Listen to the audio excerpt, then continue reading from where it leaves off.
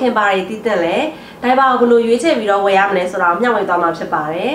တဆူကအခုဒုတိယကိုဝယ်ဆောင်နေတာဖြစ်တဲ့အတွက်ကြောင့်မလို့ဘိုက်ခရကလေးလေးမွေးလာတာနဲ့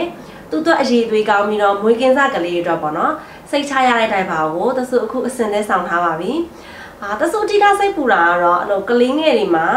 အသားရည်ရအရန်နုညံ့တယ်အဲ့တော့ဒိုင်ဘာဝတ်ထားလိုက်လို့ရှိရင်စီးပူလောင်ပါတယ်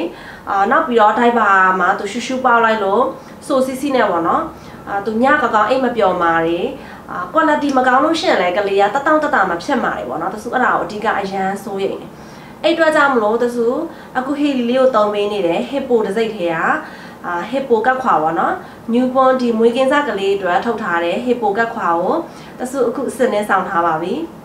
တဆူကဘာလို့ဟစ်ပိုကတ်ခွာကိုရွေးချယ်ရရလဲဆိုတော့တဆူသူ့ရဲ့ quality ကိုအရန်ကြိုက်လို့ပါ။ तू ကကျဲအပါအမျိုးအစားဆိုတော့ ပပလေးနဲ့ကလေးကိုတတ်တောင်းတတာရှိသေးတယ်။နောက်ပြီးတော့သူ့မှာလေရှူပေါက်လေးပါတဲ့အလှော်အသုံးပြုထားတယ်။အဲ့တော့ကြောင့်မလို့ကလေးကရှူရှူပေါက်လိုက်ပြီဆိုလို့ရှိရင်စက္ကန့်မိုင်အတွင်းမှာနော်ကလေးရဲ့စီးပူငွေတွေကိုဒိုင်ပါရဲ့အပြင်ဘက်ကိုသူက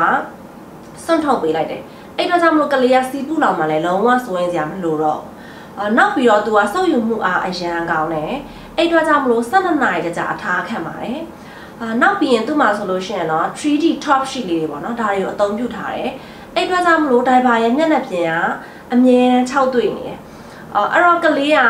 ဟိုရှူရှူပေါက်လိုက်တယ်ဆိုလို့ရှိရင်စိုးနေတာမျိုးမဖြစ်တော့ဘူး။အဲ့တော့ကလေးညပိုင်းလက်နိုးတာတို့ဘာလို့မဖြစ်တော့ဘူးပေါ့နော်။အဲ့တော့ကလေးကိုဒီဒိုင်ဘာလေးဝတ်ပြီးတော့တိတ်မယ်ဆိုလို့ရှိရင်လည်းညဖက်မှာသူကကောင်းကောင်းပေါ့နော်။တညလုံးကို6 6တွေ့တွေ့နဲ့နှစ်နှစ်ချက်ချက်အိပ်ပျော်တာပေါ့နော်။အာဒါကြောင့်မလို့မေမေတို့ကကလေးလေးကိုဒိုင်ဘာဝတ်ပေးပြီးတော့တညလုံး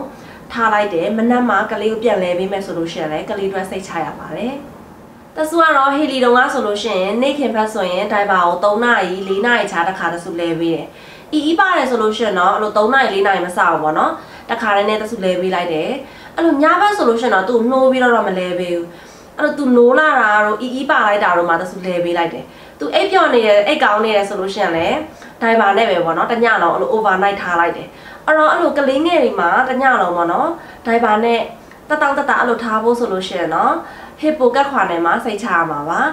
အာတဆုခုကလေးလေးပေါ့နော်ဘိုက်ထရကလေးလေးမွေးလာတဲ့အချိန်ကြာလို့ရှင်လေသူ့ကိုလေးဘက်မသွားခင်ဒီဟစ်ပိုကတ်ခွာဝယ်သုံးသွားမှာပါ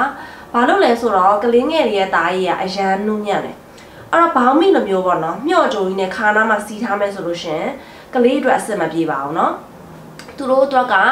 အဲ့လိုကတ်ခွာလေးနဲ့ဆိုလို့ရှင်သူတို့ရဲ့ခါ size အလိုက်ပေါ့နော် အဲ့လိုတတောင်းတတာဖြစ်အောင်လို့အကျဉ်းကျယ်လုပ်လို့ရတဲ့အတွက်ကြောင့်မလို့ကလေးအတွက်အရန်အဆင်ပြေပါတယ်။အာနောက်ပြီးတော့ဘောင်မိထိုင်ပါလိုမျိုးပေါ့နော်။ခြေထောက်တစ်ဖက်ချင်းစီကနေပြီးတော့သူတို့ဆွဲတက်ပြီးတော့ဝစ်စရာမလိုဘူး။အဲ့အတွက်ကြောင့်မလို့ကလေးငယ်ရဲ့ဒီအယိုးစစ်လေးတွေပေါ့နော်။ဒါတွေလည်းလွယ်ရွားမှလည်းစိတ်ပူစရာမလိုပါဘူးနော်။ဒါကြောင့်မလို့မေမေတို့လည်း